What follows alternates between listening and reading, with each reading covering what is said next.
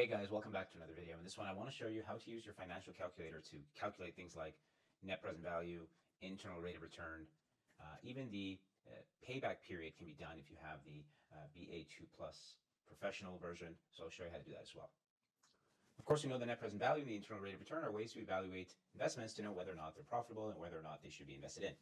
So our first investment is a new machine that would cost us $100,000 upfront, but would generate $15,000 per year in the first three years and 20,000 in each of years four through 10. Our cost of capital is 10%. Should we buy this machine? So we're going to find the net present value and the internal rate of return to make this decision. I've listed our cash flows out here in uh, in kind of cash flow format. So year zero, negative 100,000, that's the outflow, followed by all the inflows. Now what I want to do is take this information and feed it into the calculator. To do that, you want to start by pressing the cash flow button. And you can see that I've got something stored in here. This is from the last time I used it. Good habit would be once you get into here to press second clear. Like that, you know you're starting from scratch. So I always have that habit, cash flow, second clear, no matter what. Now we want to enter our first cash flow, which is negative 100,000. So we'll write 100,000 negative, then press enter always to save it. Otherwise the calculator doesn't save it.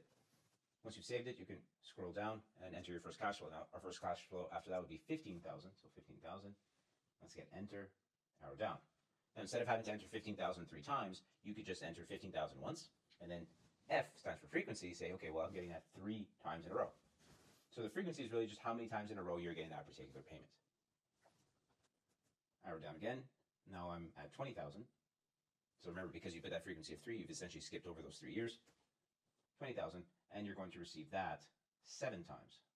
So arrow down, seven, enter. So you've entered all the cash flows into the calculator. Now it's time to actually do the math. So first for net present value, all you need to do is press the net present value button. It's right beside cash flow.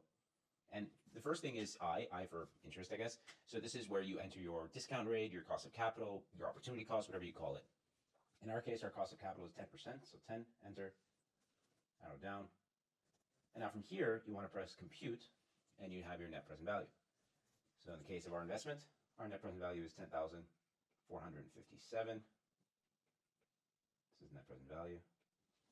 And given that it's positive, this is a profitable investment. So if you're basing your decision on net present value, you would say that this is something that you should invest in.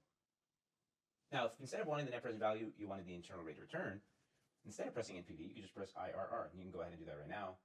IRR. And again, you need to press compute.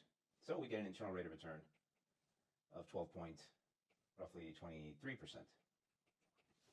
And again, if you were basing your decision on the internal rate of return, again, you would decide that this is a good investment because this exceeds your cost of capital. The investment's return is higher than the cost of the money you would have to put into it.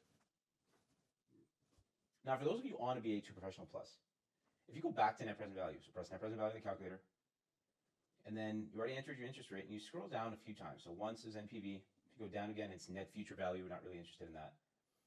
Now, if you go to PB, that's the payback period, and press compute, you have a payback period of 5.75 years. That means it would take you 5.75 years to recover your initial investment.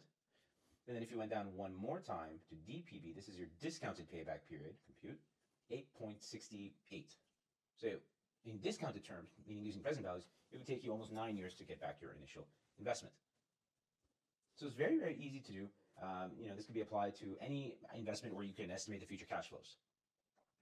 Now, this was kind of a straightforward one where you had uh, one outflow at the beginning followed by a bunch of inflows, what we would call a conventional cash flow.